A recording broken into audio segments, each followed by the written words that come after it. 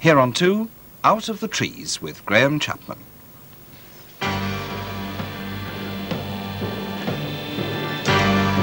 Than the universe. A multitude of mighty galaxies. Within each galaxy, a myriad of mighty star systems. Within each star system, a multiplicity of mighty planets. And in just one of these mighty planets, the mighty British Rail electric train.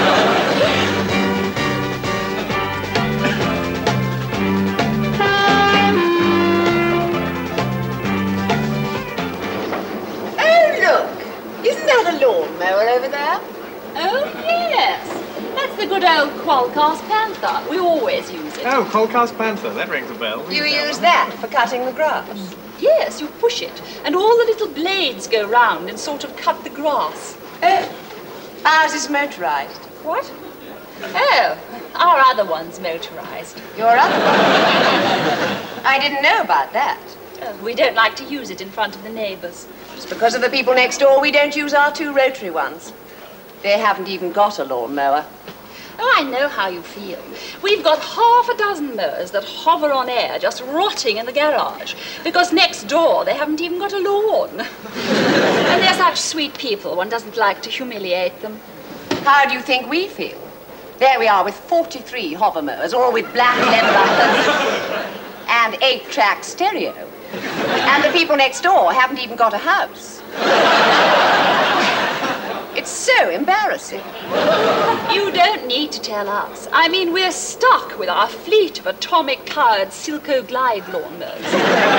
Each with a, a sauna bath, cocktail lounge, uh, three adjoining cinemas, and a discotheque. And the whole of India's starving. My dear, I just don't know where to put my face. Coffee. Oh, yes, yes, I would actually. Oh.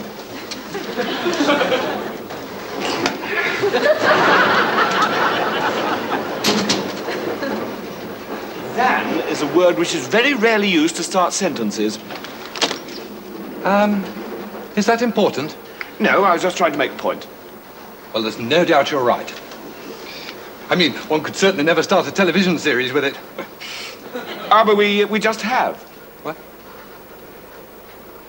Oh, good Lord. You uh, know a lot about television, do you? Uh, yes, um, I uh, often work for television. I've just done a voiceover for a documentary called British Rail and Its Place in the Universe.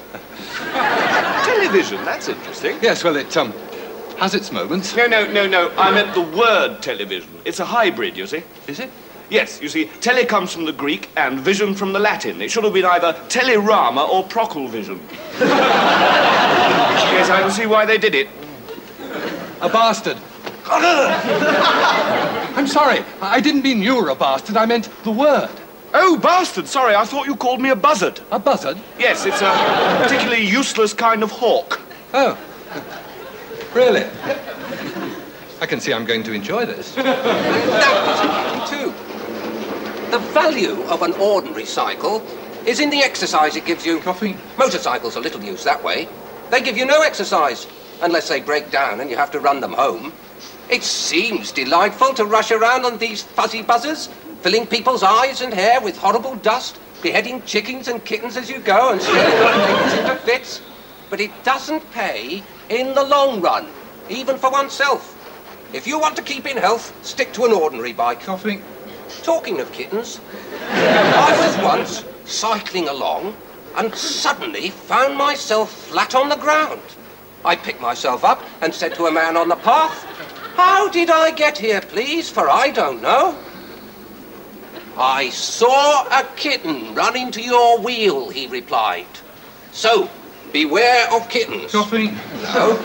But talking of coffee, I well remember when we, that is, me and my bicycle, were taking a troop of boys on a cycling tour of the Lake District. I'd like some uh, coffee, please. What? Coffee. I haven't got any coffee. Well, you were shouting coffee, and you've got that coffee pot there. Oh, coffee.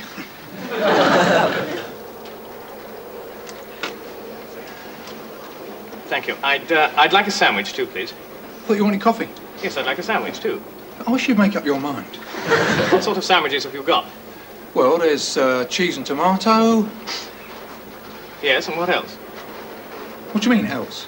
Well, I mean, other than cheese and tomato sandwiches. I thought you wanted a sandwich. Yes, I did, but it sounded as though you had other sorts as well. Look, mate, cheese and tomato sandwich. Take it or leave it. Right, I'll have that, if you're sure you've got nothing else. Well, there's coffee. Uh, no, thanks. I think I'll just have the uh, cheese and tomato sandwich. You'll just have the cheese and tomato sandwich. Yes, please. No, I mean, and the coffee as well. Um, excuse me. Perhaps I can help. I think what is required is one coffee and one cheese and tomato sandwich. I haven't got any coffee. oh, yeah, coffee. Uh, no, I meant for him. I don't want anything. Oh, change your mind, have you? Uh, no. I know your game, mate. You're trying to mess me about. Very funny. Ha, bloody ha. Look, it's quite simple. I want one coffee and one sandwich. He doesn't want anything. He's only trying to help. Only trying to help, eh? Look, will you please listen? It's very, very simple. I have been listening, mate. You go and get your own coffee and sandwiches. I've got a job to do, you load of tits. Well. Shut up! Shut up, you load of tits. I know what you mean, mate. I used to do this job on the Liverpool line. What, the Liverpool line? That's worse than this. Yeah, I know. Look, uh, could I have one sandwich and three coffees for myself? yeah. Oh! Uh, what you what you doing now, then? Oh, bloody ticket office. Oh, bloody hell. Poor bastard, that's worse than this. Yeah. Yeah, have a shot on me. Oh, thanks. See you around, mate. Um, you fancy a drop of brandy in it? Oh. Ah, very simple. Um, do you uh, work on the railways then? Well, not as such. I more sort of don't. I see. Cheers. Cheers. You, uh, you work in television then? Yes, but only voiceovers, really. What sort of thing? Documentaries and so on? Well, not always. I sometimes do adventure stuff. I mean, you know, the kind of thing like, um, well, like, um, Europe and Asia, fragmented and torn asunder by the great duel between Pope and Emperor, was ripe to fall to a new axe. Now, out of the wastes of Central Asia, a new and formidable power emerged as the Mongols launched an attack upon the world under their mighty leader, Genghis Khan. That sort of thing. Oh, no, carry on. It was very exciting. Oh, well, all right. Genghis Khan, elected leader of the Asian warlords, was marked out amongst men because of his curious grey-green eyes, his broad forehead, his compelling beard, and the fact that he could beat the daylights out of any of them.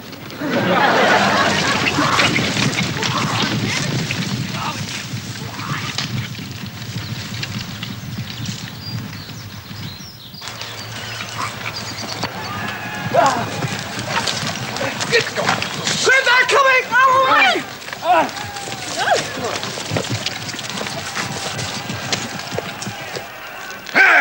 Right.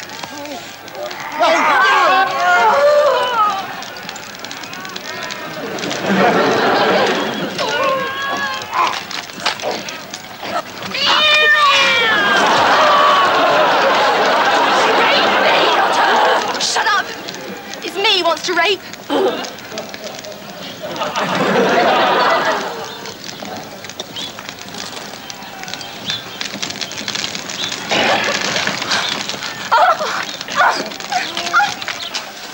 Does she know who I am?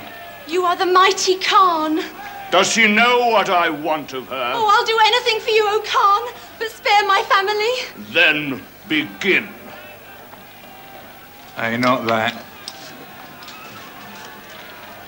I said ah! stop there. Now asked him, asked him what sort of day he's had. What? I don't... Just say, what sort of day are you had, What sort of day have you had? dear? What sort of day have you had, dear? Oh, not too bad, really. Violent, same as usual. I said stop there. I asked him how his work's been going. Hey? Ow! How's your work going, dear? Hey, put some affection in it. How's your work going, dear? Oh, not too bad, really. We uh, swept through Manchuria a bit, uh, spilt quite a lot of blood there. That was this morning. Uh, then this afternoon was mainly pillaging, really, and then uh, after that we spilled a bit of blood around about half four. Uh, what sort of day have you had? Tell him. Oh, well, the father was killed. Oh, yes, dear. Hatch was burned. Oh, really? Is that all, really? And I was tortured a bit! Oh, oh I'm sorry, dear. I was, uh, I was reading this. Right, nag him. What? Nag him. Tell him he shouldn't be reading while you're talking to him. He'll kill me! He'll bleed and kill you if you don't. Just say, just say, look, Genghis, put that thing away whilst I'm talking to you. Look, Genghis. Put that thing away when I'm talking to Look, you. if you don't get angry, something might get broken. Put that thing away when I'm talking to you! Oh, I am sorry, dear. How's Towser? What? The dog girl, get the dog, any dog. Look, stop all this! Rape me! Rape me! Oh, you're just like all the others. You'd only laugh.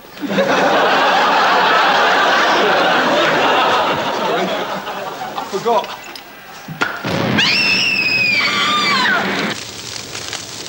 that was very exciting. Shh. And still the battles raged as the mighty Khan wrenched eastern Mongolia from the Tatar, wrested western Mongolia from the Naimans, tore central Mongolia from the Keraits, pruned Chihile from the new cheese, and in February, pissed off with the whole of Afghanistan.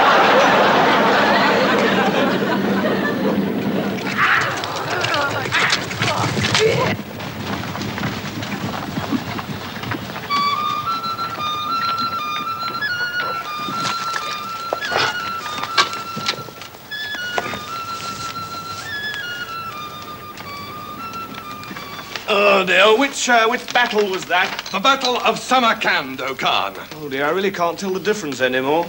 Uh, did we win? Oh, yes, O Khan. It was a mighty victory. Oh, dear. After 20 years of these half-hour battles, I really get the feeling there ought to be something more important tonight. do, you, do you think I'm putting it on a bit? No, no. Now, Khan, we must push forward to Persia, and then we shall be poised to take over the whole world. You know, I think I am a bit. Look, you feel that? No, that's quite all right. Oh, right. Look, we're on the point of conquering the world tomorrow. When? Tomorrow. Ah, now, look, uh, is a bit difficult, you see, because I was going to give a lecture on carnage techniques in Bukhara next week, and I thought I'd use tomorrow to prepare it. Well, can't you put that off? Well, not really, you see. They've paid me quite a lot for it, so I am a bit committed. Wednesday. Well, uh, I haven't got anything down, but I'm sure I'm meant to be doing something, so we better count that out. Thursday. No, no, Thursday I am certain about. We've got my son Ogdai and his wife coming round for dinner, and I'd sort of promised the wife. But I am Ogdai. Oh, well, there you are, then. You wouldn't be able to make it either. Will you be ready to conquer the world on Friday? Ah, well, you see, the secretary comes round on Friday mornings, all those letters to write, and then uh, lunch time's out because I've got to talk about some silk deal. Then I think I'm free about four. But I was hoping to get away early for a long weekend, so now, let's see, Monday, Monday, no, R and R, I'm afraid. What? R and R, rest and recuperation. That's one thing I do insist upon. Now, how about Tuesday? Tuesday, yes. Look, uh, I'm free in the morning. No, hold on a moment. No, hold on a moment. I'd sort of made a date for meeting this awfully interesting person who knows absolutely everything about understanding things, which is a thing I'm very bad at. So that's a pity, really, because that was my only free day next week. Now, next next Tuesday. The amount of time one actually spends on carnage is eventually completely disproportionate to the amount of satisfaction one gains from it. Apart from anything else, it's so cold and bloody uncomfortable wearing these stupid costumes. And you spend days sitting around getting bored out of your skull waiting for some miserable battle which only takes five minutes. And you wonder, is it all worth it?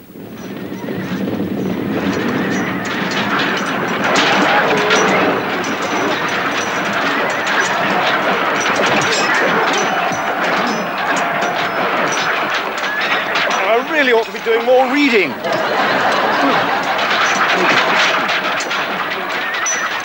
How much are we getting for this battle? About the same as we got at Bukhara. I don't know why we bother. I could make more than this out of one morning's silk trading, have the rest of the week off. Oh, oh dear, and one's life isn't really one's own. So that's more or less the whole of March out. April. Well, no, April's out. I'm going to Africa in April. That's one thing I had promised myself. May. Well, I don't like to commit myself that far in advance. One feels so tied down if one is completely committed beforehand. Uh, anyway, May, May, possible conquest of the world. Now, I've only penciled that in, so don't regard it as absolutely definite. Uh, but keep on with me about it, and we'll see how it goes. Look, shall I just get on with it with the other generals? Uh, well, you see, I don't know about that. Talking of I don't know, how one does ramble on. There is a house in the Sandhills near Bournemouth with a funny name. When the occupants went into it, the wife said, What shall we call it, dear? Oh, I don't know, said the husband in a bored voice. So, the house has I dunno on the gate. What's the moral of that? Beware of bored husbands who say I dunno. But every bored husband was once a bored boy who I expect found it too much fag to clean his bicycle himself. No, not too busy, but too lazy. Ah, got you there, old chap. You may well blush. Uh, look, you strange person, if you're not careful, you'll wake them up. Oh, I'm careful, old chap. You have to be careful when you're stripping down a bike. Look at the way I've laid my nuts out in a neat line. so I know where I can find them. Beware of nuts that are not in a line. Oh. Anyway, enough of this. There's work to do. The boy Jesus wouldn't have sat around talking all day. Oh, you little bitch! Oh! Hello, ladies. Excuse me butting in. My name's E.W. Clifford Aldis, but you can call me W because I only use my second name. Forgive my asking, but may I inquire whether there has been some kind of altercation between you? Yes, there has. She, the little bitch, started bragging about all the lawnmowers, which I know she hasn't got. And I merely happened to mention that my husband earns more than hers, and she pulled a knife on me. You need never be ashamed of living in a smaller house than other boys. A bigger house adds nothing to people's happiness, although I expect you think it would, and is nothing to boast of. It is the worst kind of snobbishness to boast of your father's money or the expensive things that he has. My husband Husband, sorry. is the richest man in his office. Prove it. What? Come on, prove it. All right, I will. And so, Right. Now, before we read the minutes of the last meeting, I'd just like to ask, how much money have we made recently? Uh, what do you mean? Today or just since the meeting began? Well, um, since I last spoke. Uh, well, let me see. That's him. Well, uh, from your last word, that's 498 million pounds. Uh, that's not including the interest at a rate of 18.5% accrued during the five seconds it's taken since I started pressing the buttons. And by the time I finish this sentence, that'll be uh, 26 million pounds. Or 29 million pounds if I carry on the sentence to say the bit I'm saying at the moment. Which I have. Call 30. Right. So, gentlemen, being the majority shareholders, we sell out completely. Sell. Which will send all the shares plummeting. Then we buy back a hundred times as many. Buy. At the cheaper price. How much have I made so far? Ooh, um, billions. Right. Good day's business.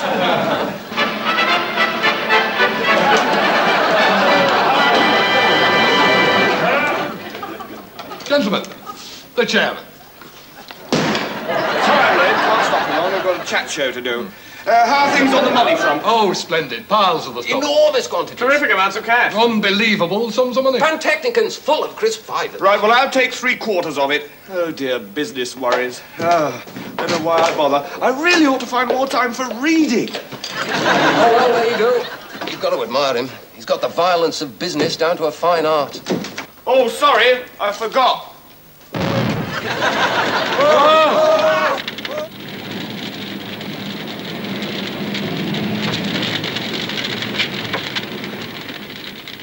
The mighty Mongol leader, Genghis Khan, and his hordes of fearsome financial advisors swept through the stock exchanges of Europe, clinching mighty business deals and wreaking havoc with the parity of the pound. Yes, the man who was elected chairman of Asian Warlords International was marked out amongst nobles because of his curious grey-green money, his broad business acumen, his compelling fiscal ability. And also the fact that he could buy the daylights out of any of them.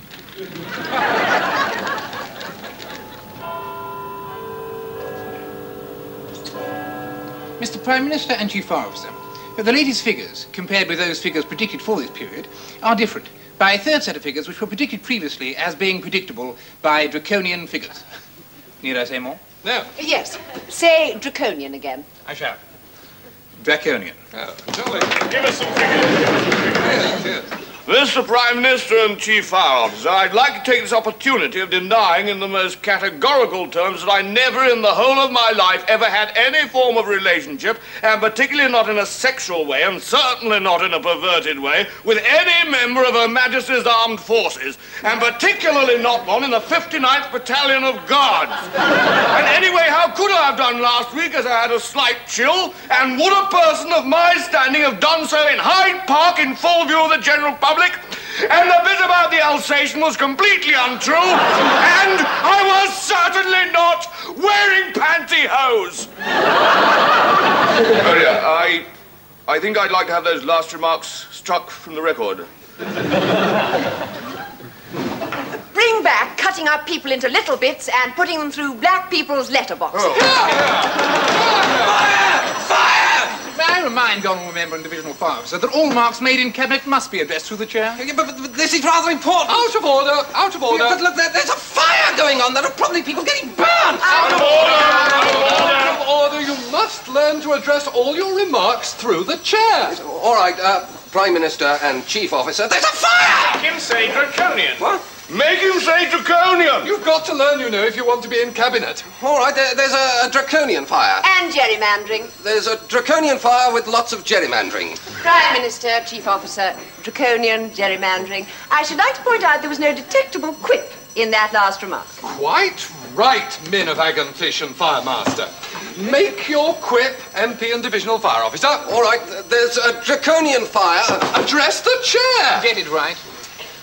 Prime Minister and Chief Officer, much as I admire draconian gerrymandering, Quip! uh, she, she was only the parliamentary undersecretary for state's daughter, but she goes like a rocket. Rubbish. Really? Jim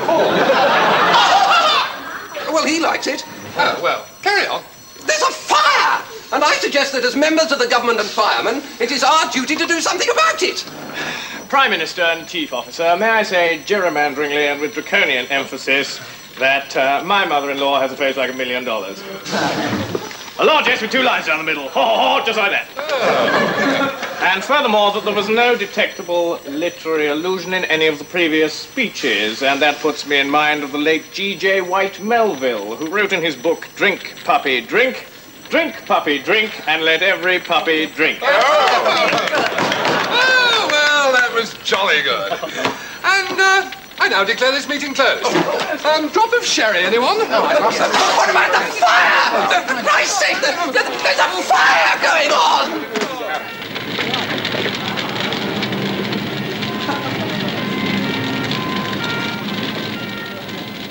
And so the fire engines didn't arrive and the building was burnt to the ground.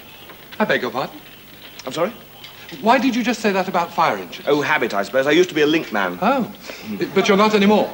No, no, couldn't stand it. Cooped up in a little box of a studio, linking one boring item to another, you know, the sort of thing. And now we have blah, blah, blah, blah. No, I wanted to get out and see a bit of the world. that wasn't supposed to be a link. Yes, that's why I stopped doing voiceovers. Oh, I can understand that, yes. I just wanted to do links for years and years just so that I could earn enough money to go out and find the link that I really wanted to do. Well, me too. I mean, I've really been looking for the ultimate in voiceovers. Delighted to meet you. My name's Michael Edwards. Mine's Kemp. I expect that fire was started by one of my husband's two secretaries. Oh. My husband's eight secretaries are always burning his offices down. The place is a constant inferno. My husband's 12 secretaries. You said he had two. Ah, yes, well, uh, two are just for burning things down. Uh, the other ten are so obsessed with setting fire to things, he doesn't even allow them to come into the office. What do they do then? What? Oh, uh, I think uh, he might go to bed with some of them. My husband goes to bed with all his secretaries. What, just the eight? No, he has a team of 23 different secretaries for going to bed with every night. What, just at night? Oh, my husband has his 12 secretaries even before he's put spoon to grapefruit. And during the day has 52 other people's secretaries. And I've never even seen him at night. He's unfaithful then. What? Isn't yours then? Unfaithful? Well, is he? My husband's so unfaithful I haven't even seen him for five years. Oh, I haven't seen mine since the day we were married. Mine didn't come to the wedding. I've never even been to bed with my husband. I've never even seen mine. My husband doesn't even exist. Oh, never mind, dear. You've got me. Oh, Trish, you're such a comfort. Gosh, darling, what a fire. Yes. It must be hot in there. I think they're about to do their own link into something. Shall we see how they do it? Almost as hot as that hot day in August when we. Uh... Oh, yes. Ooh, I think that was a bit contrived.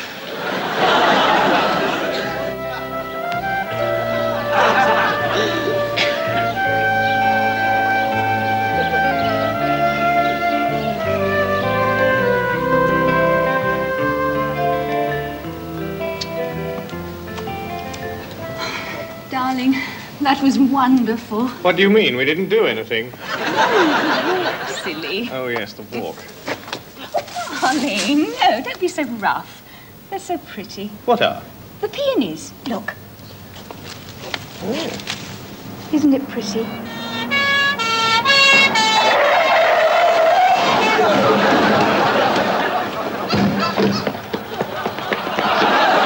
What's this then? A peony. Oh, you admit that then? Admit? But look, officer. Don't try to flatter me. You won't get out of it that way. Get out of what? Calm down. But what am I supposed to have done? Not you. Uh. Huh? You've taken away the personal property of another, viz. one peony. But it's only a flower. Well, that, my lad, is theft, a felony punishable by up to 30 years imprisonment.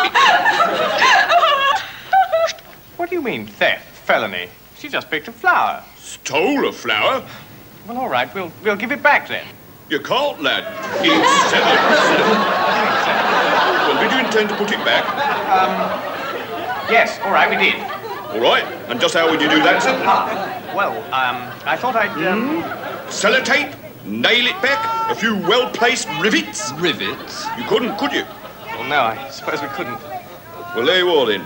Mind you, if you take the old bush, we couldn't prove you didn't intend to put it back. Could we? But this is ridiculous. Look, I'll buy them a whole new bush. Oh, don't try and be clever with us. Uh, not yet, not yet. Better to do. Whoa, we've got a difficult one here. Sergeant! Look, mate, will you like to come up to the station with us and be interviewed? Can be very nasty being interviewed. Are you threatening violence? Right! Send for reinforcements. There's been a peony severance in Southwood Lane. Can we have reinforcements? Peony severance, mobilize all units. Peony severance, mobilize all units.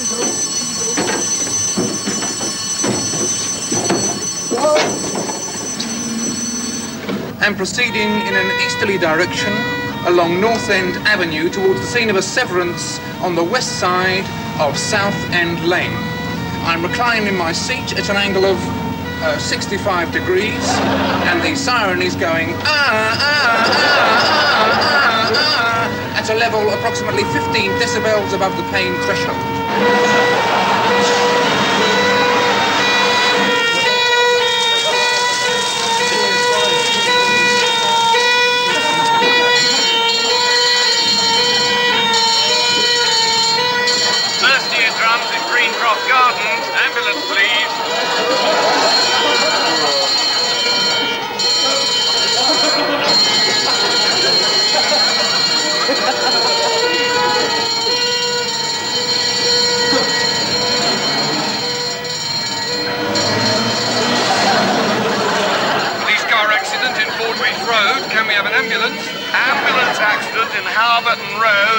have a fire engine. Fire engine accident in Micegrove Road. Sent a police car, an ambulance, and uh, another police car. Look, I'd better call the army as this peony is getting out of hand. The Admiral wants this peony affair sorted out. Better get the Air Force in. Navy can't deal with peonies. Launch the missiles. Better safe some sorry.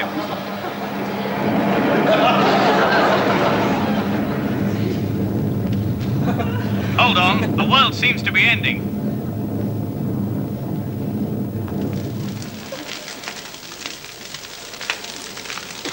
We are too late. We are too late. They have severed the peony. They have severed the peony. peony. Mission has failed. Mission has failed. Impossible to effect peony severance prevention.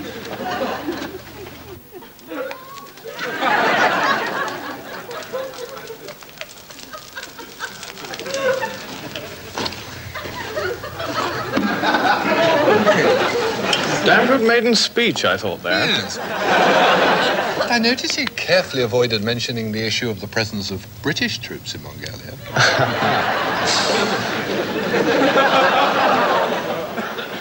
I don't remember that. Oh, yes, you're right. It was a hydrangea. Sorry, darling. My husband's hydrangea. Oh, shut up. And so, back to us. By the way, you never told me what you were doing on the roof of the train before you climbed in through the window. Oh, yes, I arrived there from the bridge. Uh, why was that? Well, there didn't seem to be a station where I wanted to get on. Oh. Anyway, this is uh, where I must get off. But there isn't a stop for another 20 minutes. I say, do you mind if I join you? Not at all. After you.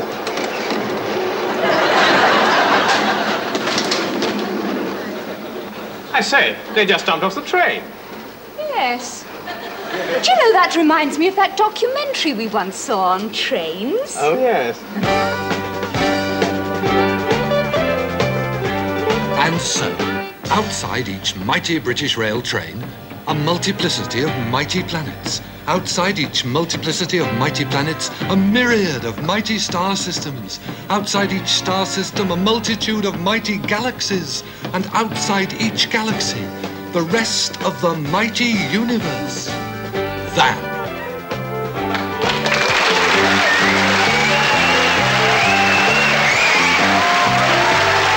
Maria Aitken is now appearing in a little night music at the Adelphi Theatre, London.